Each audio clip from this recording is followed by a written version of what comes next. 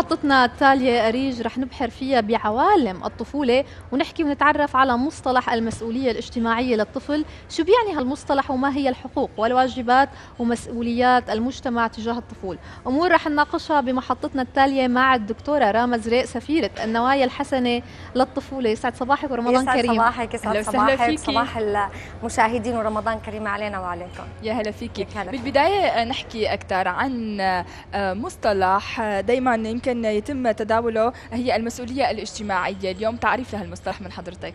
المسؤولية الاجتماعية هو مصطلح كتير فضفاض و...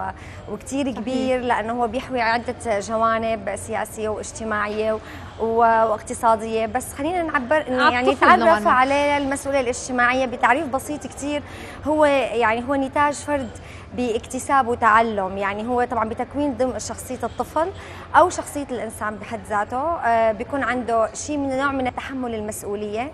بالإضافة إلى هو اكتساب وتعلم. طبعا الاكتساب والتعلم هو نتيجة العوامل المؤثرة للإنسان على البيئة على المجتمع.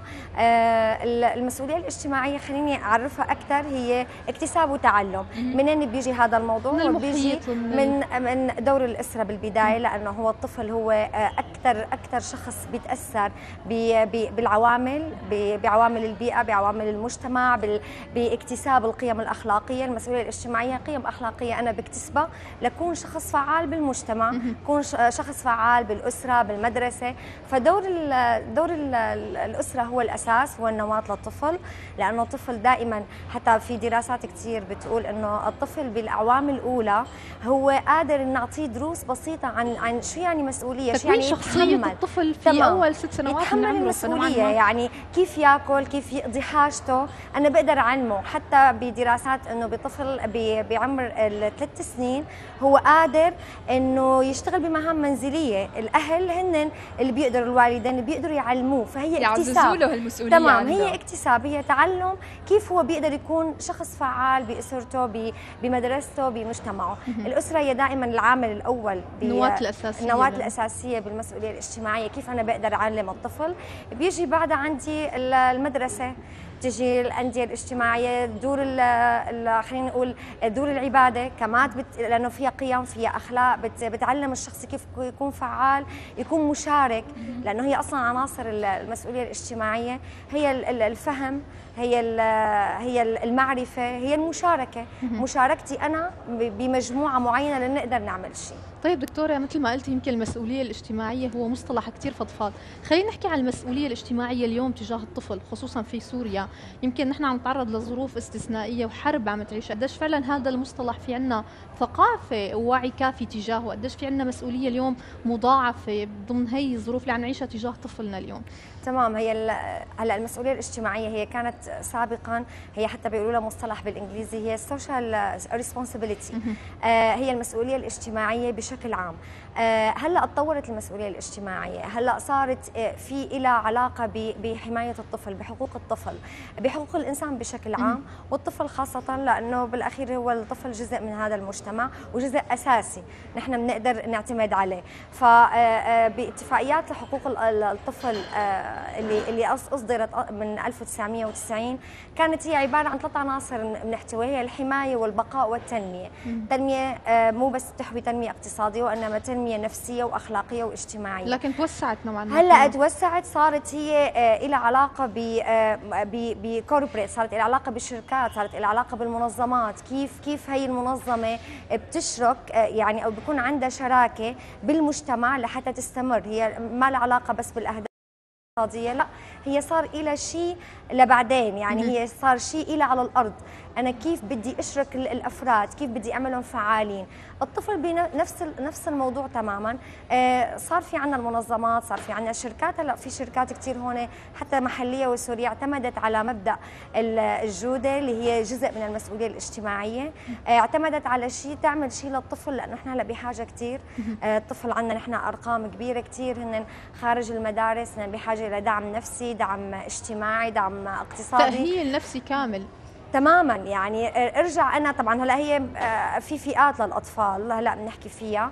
هي فئات للأطفال كيف نحن بنقدر نساعدهم كمسؤولية اجتماعية تجاه الطفل السوري؟ تماما. يعني مسؤولية كثير كبيرة تجاه الطفل اليوم يلي خاصة عم يعيش أزمة كثير كبيرة بمجتمعه. اليوم المجتمع قديش بيحمل دور كثير كبير تجاه الطفل وخاصة يمكن مثل ما قلنا بظل الظروف اللي عم يعيشها. وأيضا قديش بتختلف مثل ما حضرتك ذكرتي بالفئات العمرية للطفل؟ تمام هلا الفئات العمرية كثير بتختلف عنا لأنه أنا بعتبر الأسرة هي الأساس. أنا وقت اللي بدعم الاسره فأنا كأني دعمت الطفل. آه، دعم الأسرة بأنه أنا آه، آه، دورات تدريبية للوالدين. طبعا هي هلا موجودة ونحن عم نطبقها هلا بسوريا مع إنه الأزمة في مناطق كثير نحن ما بنقدر نفوتها. في مناطق ساخنة هلا في مناطق في مناطق بتخضع للحكومة السورية. هي أمورها خلينا نقول يعني منيحة مقارنة بالمناطق الثانية اللي فيها جهات فاعلة غير حكومية نوعا ما هون الهلال أو تمام. هلأ موجودة هي المنظمات. اللي عم بتقول هي منظمات غير حكومية عم تتعاون مع وزارة التربية ومع وزارة الشؤون الاجتماعية لندخل لهي المناطق ونقدر ندعم. يعني وخاصة بالتعليم. يعني عندنا نحن مشكلة هلأ في في أماكن نحن ما عم نقدر نفوتها. ما في توحيد للمنهاج التعليمي مقارنة مع مع الحكومة والدولة. في عندنا نحن مشكلة هلا. آه عم نقوم فيها أكيد نحن في بس ولكن هناك في تسارع لأنه هي أعداد كبيرة. يعني إحنا ممكن نغطي ولكن إحنا ما بنقدر نغطي جزء كبير كثير يعني إحنا عندنا هلا بحدود مليون ونص تقريبا مليون طفل سوري لحديث 2015 هن خارج المدارس. يعني هن ما موجودين.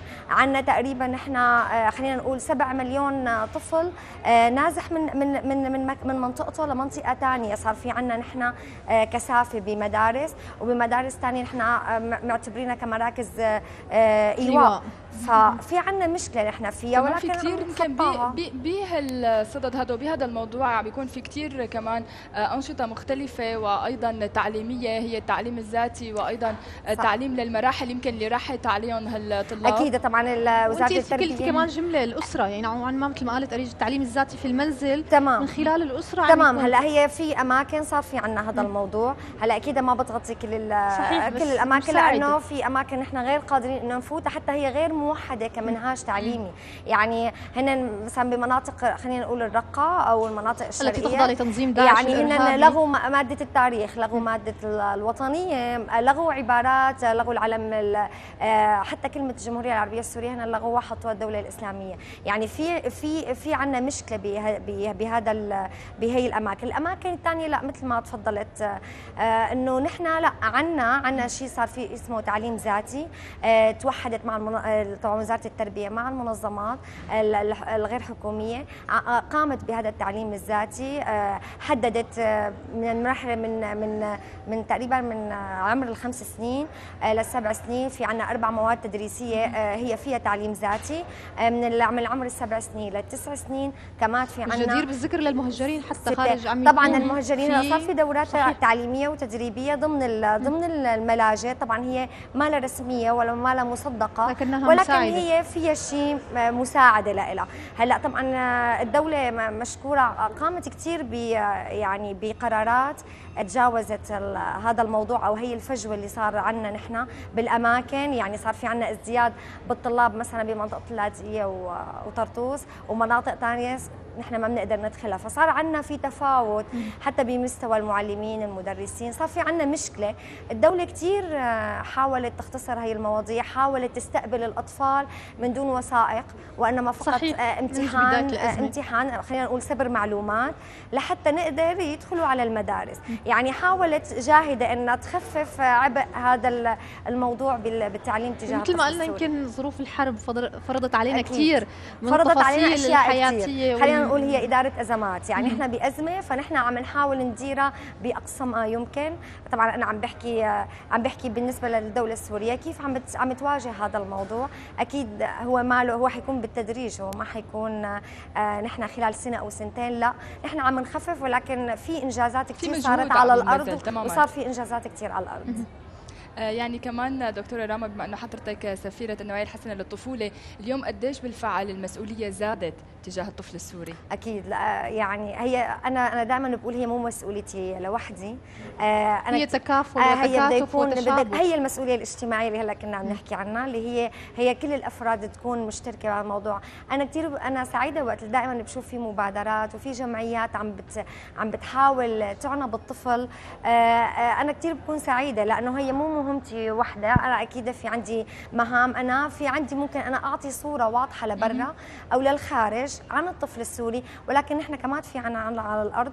كثير عالم وكثير اشخاص عن جد وطنيين ورائعين شباب فعلا عم بيعملوا آه، آه، كل ما باستطاعتهم لحتى آه، نكون نحن واقفين ضمن يمكن دكتورة راما هذا لاحظناه منذ بداية الأزمة لليوم كثير من الجهات والجمعيات والمجتمع الاهلي الأهلي التطوع كان على أرض الواقع. نحن كنا عم نخصص ببرنامج صباحنا غير مساحة كثير كبيرة للشباب السوري اللي عم يثبت ضمن ظروف الأزمة اللي عم يعيشها جدارة ومسؤولية اجتماعية كثير كبيرة. ما هو دور الإعلام كثير مؤثر. بيتاثر بهذا الموضوع لأنه الطفل كثير بيتأثر آه، بالإعلام لأنه هو متلقي جدا هو آه، عنده حاسة البصر والسمع بياخذ كل شيء من الإعلام. فإعلامنا الوطني كمان عم عم بيقوم بخطوات كثير إيجابية وكثير حلوة إنه يعلم. يعني هذا تعليم تعليم الشباب الباقيين كيف تكون المبادرة وكيف يكونوا على الأرض.